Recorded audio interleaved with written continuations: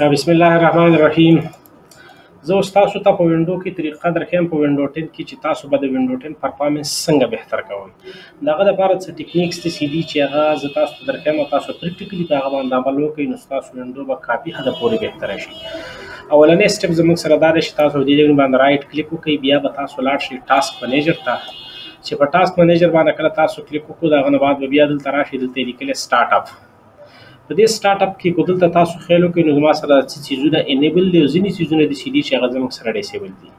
نو تاسو به اولنې کوشش دا شي کوم یو چیز تاسو سره انیبل هغه به تاسو چې شي کوي ډیسیبل وکړي دا شو زموږ سره اولنې سټیپ دویم سټیپ چې دی نه هغه زموږ سره دا دی چې په دې ځګنی باندې به تاسو دلته کلیک وکړئ او په دې ځګنی کې به تاسو دلته ولیکئ چې ویو اډوانس ایډوانس سیستم سیټینګ په دې باندې به تاسو کلیک وکړئ چې په دې هم کله کلیک وکړو نو بیا به د هغه نه وروسته تاسو دلته راشئ په دې ایډوانس باندې به دلته کلیک وکړئ بیا به د هغه نه دلته راشئ پرفارمنس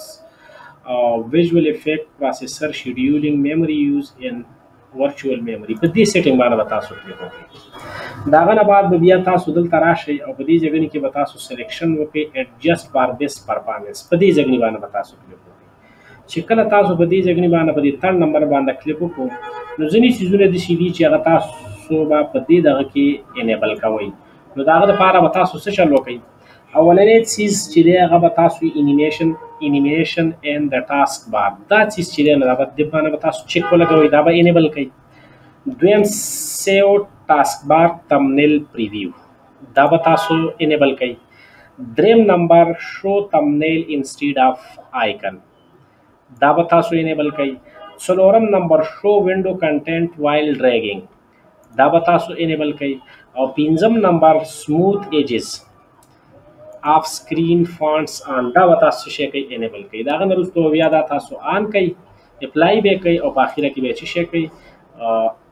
اوکې کوي اگین دلته راشي او په دې ځای کې به تاسو دلته اگین ټایپ کوي ویو ایڈوانس سیټینګ سیستم تاسو بیا اگین دلته لاړ شئ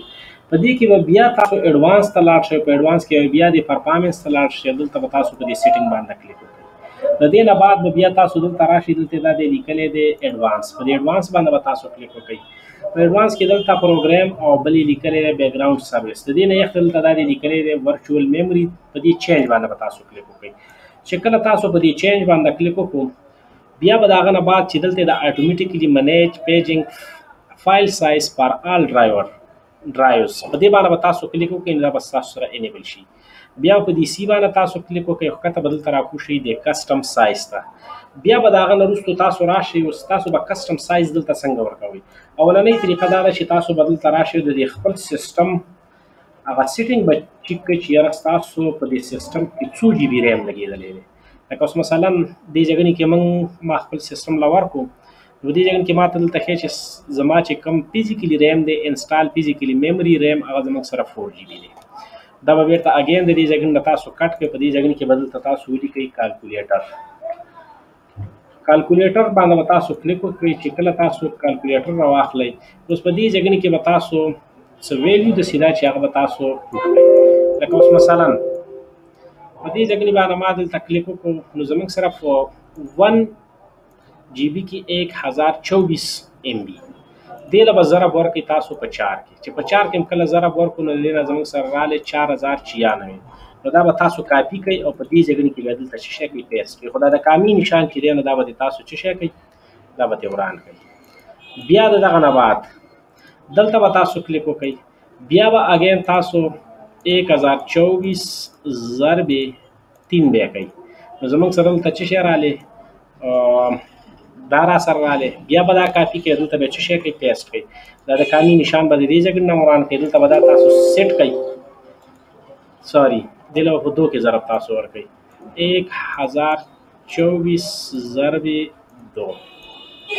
نو زموږ سره دا شو کنټرول سی به کوي دا ویډیو باندې به تاسو کلیک وکړئ او د دې نه به زموږ سره دا چې شی کوي ختم کړي دا به بیا تاسو سیټ کړئ چې کله هم سیټ کړو نو په اخره کې بیا تاسو څه شی لوکئ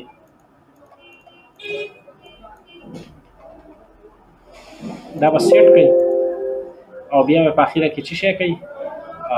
اوکې کوي نو چې کله تاسو اوکې کوي نو تاسو سره به دا څه شی شي یو قسم لا مثلا شو بشي نو په دې طریقه باندې دا تاسو د خپل سیستم پرفارمنس شي هغه تاسو